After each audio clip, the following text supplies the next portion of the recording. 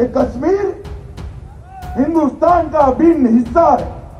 कश्मीर हमारा है। जहाँ हुए बलिदान मुखर्जी वो कश्मीर हमारा है। गृह मंत्री का पद संभालने के बाद एक्शन में अमित शाह। जम्मू कश्मीर को लेकर शाह का बड़ा फैसला। धारा 370 पर अमित शाह का चाणक्य दिमाग। शाह की रणनीति से सियासत में हड़कंप। दरअसल लोकसभा चुनाव में बीजेपी को देश की जनता का भरपूर समर्थन मिला है, जिसके चलते पार्टी को ऐतिहासिक जीत भी हासिल हुई है। मगर जिस तरह से बीजेपी को जनता ने प्रचंड बहुमत दिया है, उसके साथ ही मोदी सरकार टू से काफ़ी उम्मीदें भी जुड़ी हुई हैं। देश के विकास के साथ साथ इस बार कई ऐसे मुद्दे हैं जिसको लेकर मोदी सरकार के आगे कई चुनौतियाँ हैं। मगर कहीं ना कहीं इस बार सबसे ज़्यादा चर्चा जम्मू कश्मीर से धारा 370 को हटाने की हो रही है। और इसी के चलते पीएम मोदी ने अपने सबसे भरोसेमंद दोस्त और बीजेपी के चाणक कहे जाने वाले अमित शाह को गृह मंत्री बनाया है। मैं अमित अनिल चंद्र शाह ईश्वर की शपथ लेता हूँ कि मैं विधि द्वारा स्थापित भारत के संविधान के प्रति सच्ची श्रद्धा और निष्ठा रखूँगा। मैं भारत की प्रभुता और अखंडता अक्षुण रखूँगा। यानी कि मोदी सरकार में अमित शाह की हैसियत नंबर दो की है। ठीक उम्मीदों के मुताबिक अब अमित शाह पहले ही दिन एक्शन में नज़र आए। दरअसल तीन जून को शाह ने अपने मंत्रालय के वरिष्ठ अधिकारियों की बैठक बुलाई, जिसमें जम्मू कश्मीर के एजेंडे पर विस्तार से बातचीत हुई। बैठक से जो संकेत निकल कर आ रहे हैं, उससे साफ़ है कि अमित शाह घाटी में पूर्व गृह मंत्री सरदार वल्लभ भाई पटेल का एजेंडा लागू करना चाहते हैं। जब अमित शाह ने मंत्रालय में वरिष्ठ अधिकारियों की बैठक बुलाई तो तमाम एजेंसियों के लोग वहाँ पहुँचे। राष्ट्रीय सुरक्षा सलाहकार अजीत डोभाल, आईबी और चीफ गृह सचिव समेत अन्य अफसर अमित शाह के साथ मौजूद थे। इस दौरान सुरक्षा एजेंसियों ने अमित शाह को घाटी में आतंकियों से निपटने के लिए नए प्लान का सुझाव दिया।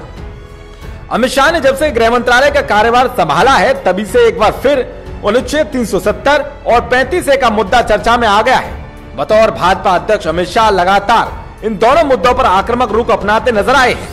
एक बार नरेंद्र मोदी सरकार बना दो, अगले पाँच साल के पहले देश भर से, एक एक घुसपैठियों को चुन चुन कर निकालने का काम जम्मू कश्मीर का बड़ा हिस्सा पाकिस्तान के हाथ में रहे। किसकी गलती है? जरा बोलो किसकी गलती है? कांग्रेस पार्टी 370 और पाक ऑक्यूपाइड कश्मीर दोनों के लिए जिम्मेदार जवाहरलाल नेहरू और कांग्रेस पार्टी। कांग्रेस पार्टी और नेशनल कॉन्फ्रेंस धारा 370 हटाना नहीं था। मुझे बताओ भाइयों धारा 370 हटानी चाहिए, नहीं हटानी चाहिए? ज़ोर से बोलिए, हटानी चाहिए, नहीं हटानी चाहिए? हमारे चुनावी घोषणा पत्र में हमने कहा है, धारा 370 को हम हटा सूत्रों के मुताबिक अमित शाह इस एजेंडे पर सरदार पटेल की नीति को आगे बढ़ाना चाहते हैं। हालाँकि पैंतीस ए का मुद्दा भी सुप्रीम कोर्ट में है। ऐसे में सरकार की ओर से स्पष्ट किया गया है कि वो पहले सुप्रीम कोर्ट के फैसले का इंतज़ार करेगी, तभी अपनी बात आगे रखेगी। इसके अलावा गृहमंत्री की बैठक को लेकर सुरक्षा एजेंसियों की ओर से कहा गया है कि इसी साल उन्होंने घाटी में 101 आतंकियों को मौत के घाट उतार दिया है, जो हर महीने लगभग 20 का एवरेज है। इसके साथ ही अब एक नई टॉप लिस्ट की तैयारी भी की जा रही है। जिसके बारे में नए गृह मंत्री को सूचना दे दी गई है। इस लिस्ट में रियाज नायकू और ओसामा का नाम भी शामिल है। न सिर्फ़ आतंकियों की हिट लिस्ट पर इस बैठक में चर्चा हुई, बल्कि एक जुलाई से शुरू होने वाली अमरनाथ यात्रा की सुरक्षा को लेकर भी विस्तार से रणनीति बनाई गई है।